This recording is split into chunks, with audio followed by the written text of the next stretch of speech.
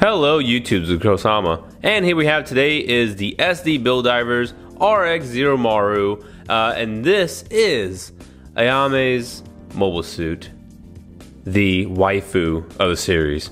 So that is it. That's put to rest. She is waifu, case closed. So anyways, the unboxing of this kit has me kind of curious uh, because a lot of prototype images I've seen in the past I didn't see a lot of color. Uh, it looked like this thing is going to be riddled with stickers. So, um, you know, I'm kind of curious. I haven't peeked at the stickers yet. Uh, definitely want to see exactly how many stickers we're talking about here. So, I kind of already have my paints at the ready because I do feel as if um, this is going to be a very sticker heavy kit.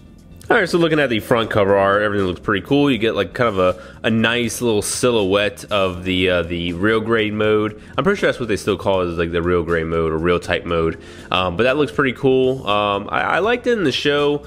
I don't know how well it's going to carry over in the model form because uh, I did build the like uh, what was it, the uh, Star Winning Gundam, and I was not very impressed with that one. So hopefully this thing is going to be a vast improvement. Now this is going to use the cross silhouette frame. So with that, it's instantly going to be better than most SDs because it's going to have greater articulation, and it just I think overall looks a lot better because it's a it's basically a ninja. Uh, unicorn Gundam, and I do not mind that at all. I think it looks pretty cool. So it's kind of like in this like permanent destroy mode, uh, kind of like um, look with the shoulders and the chest and all that. Uh, and then the V fin, like the little face mask is going to come down, so it has like kind of a unicorn mode. Um, so it looks pretty cool. I'm pretty pretty awesome about this. I like nin- I like Ninja mobile suits uh, anyways, so this is pretty cool. And you can get that bird mode that basically is going to be all the limbs and uh, different weapons and accessories for uh, the Zeromaru.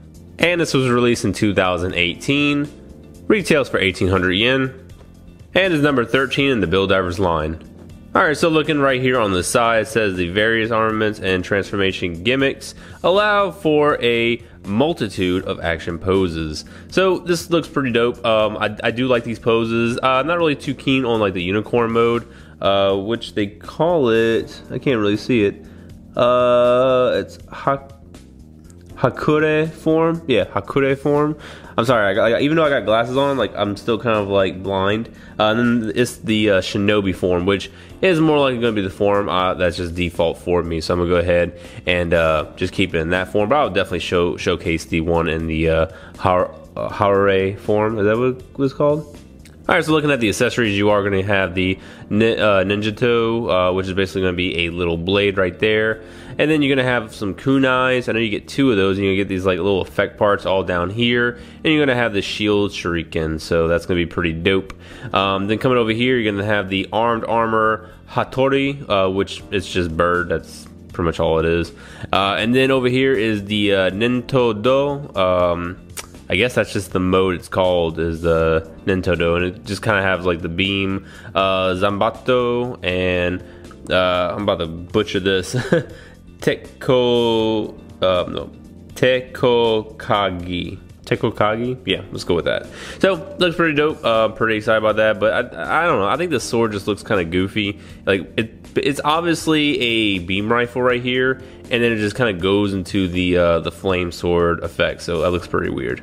And then right here you see that the lion mouth mask uh, basically mounts on the chest, but it can also be mounted on the face.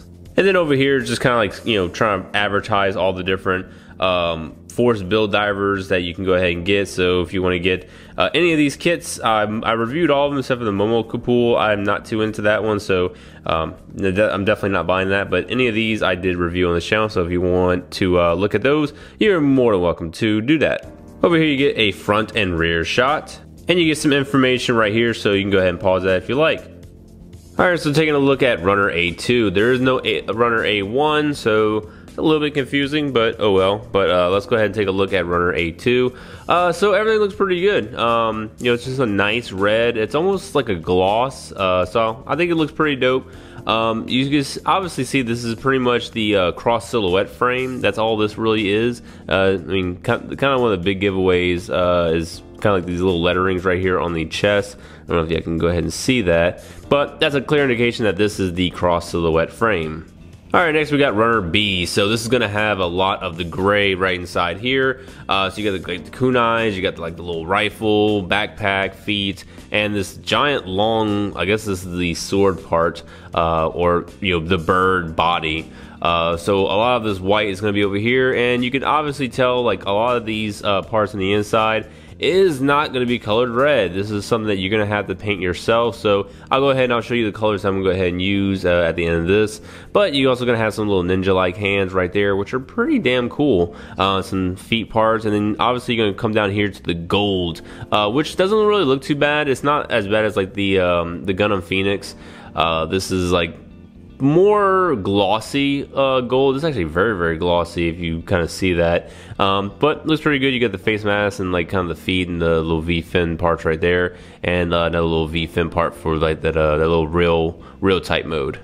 All right, next we're gonna have runner C1. Uh, so just gonna be mostly all, you know, pretty much all white parts. Uh, you're gonna have the uh, katana right there. You got like the little bird head. Uh, you got some like uh, this is like arm parts right here. You got parts for the shoulders, the waist, legs. Uh, there's gonna be more leg parts right there. But overall, you're definitely gonna have to go ahead and paint in some of that red detail right inside there. But it doesn't really look too bad. There's a lot of good places for panel lining, and overall, the the quality of plastic is pretty damn good. All right, next is going to be runner C2, which is just going to be an extension of C1 when it comes to these parts right here. And then we got D1, D2, so this is D2 right here, which is just going to be this part. Uh, but you are going to have the uh, shuriken right here. You're going to have this little blade part, which also acts as, a scarf. Um, I don't know what this part is. It looks like it's parts of the waist. I'm not too sure of. Uh, then you're gonna have this is more parts of the scarf. This looks like it's gonna be for the waist.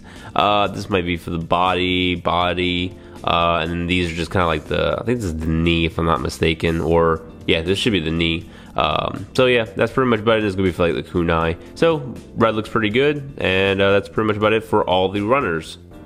All right, this is the this is the sticker sheet, guys.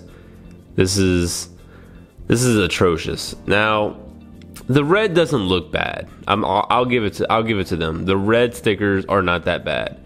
But man, all these gold stickers, and they obviously loop around uh, curved edges. So I don't know if you can see it that well, but yeah, these are going to curve around many, many edges. Um, so if I was y'all, you know, this is what I'm doing. I'm painting all this.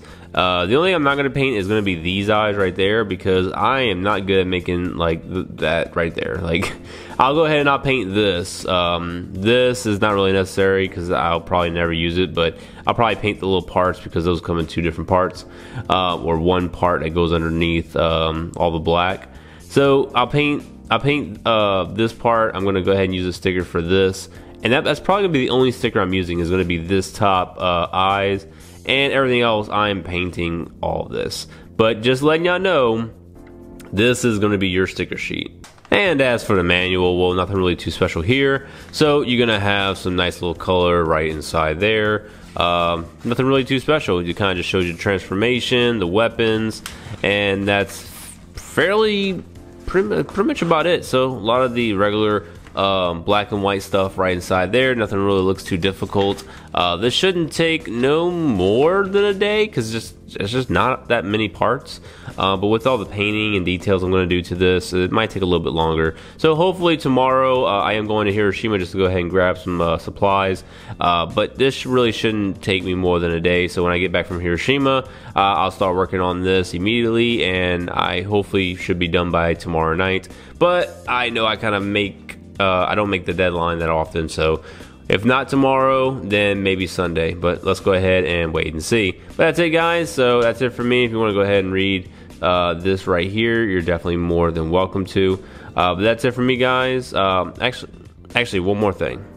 I actually forgot to mention the paints I'm going to use. So I'm going to go ahead and use Mr. Color or Mr. Metallic Color uh, GX for all the gold. So it's pretty nice gold. Uh, so this is what I'm going to use for all the, those little gold pieces. And next I'm going to use Mr. Color. This is going to be Red Matter. So this is a pretty nice red and I just figured this would be good for those uh, inner frame parts. Next we got German Gray. So whatever, there's a couple of gray stickers. So I just decided I'm to use German Gray for those stickers because that was like the closest I can go ahead and get without mixing colors uh, to get to that actual color accuracy.